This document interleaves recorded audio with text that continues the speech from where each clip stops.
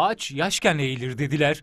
Çocukların çocuk haklarını yani kendi özlük haklarını öğrenmelerini kolaylaştıracak bir proje geliştirdiler. Türkiye'de bir ilke daha imza atan Bakırköy Belediyesi Sağlık ve Sosyal Çocuk Destek İstasyonu'nu açtı.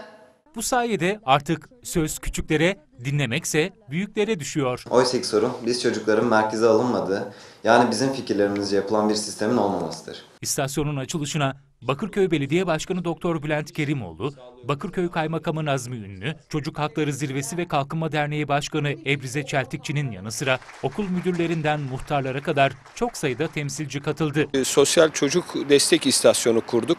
Bu Türkiye'de bir ilktir. Toplumun her alanında özellikle çocuklarımız haklarını bilen, haklarını talep eden, haksızlık karşısında susmayan, sorgulayan çocuklar olarak yetişsinler istiyoruz. Sağlık ve Sosyal Çocuk Destek İstasyonu Dünya Çocuk Hakları Günü'ne izafeten kuruldu. En büyük dileğimiz bu istasyonlara çocukların e, bizzat başvurabilmeleri. Daha da gelişmiş noktada ise e-masalar kurmak. Yani çocuklarımız Türkiye'nin neresinde olursa olsun e, internet ortamında haklarına ulaşabilecekleri bir sistematiği uzun vadede düşünüyoruz. Bu istasyon çocuklara psikolojik destekten sosyal yardıma, hukuki destekten sanata kadar çok sayıda alanda hizmet verecek. Lütfen de çocukları aman e, yemek yemiyor, uyumuyor diye biz de korkutmayın.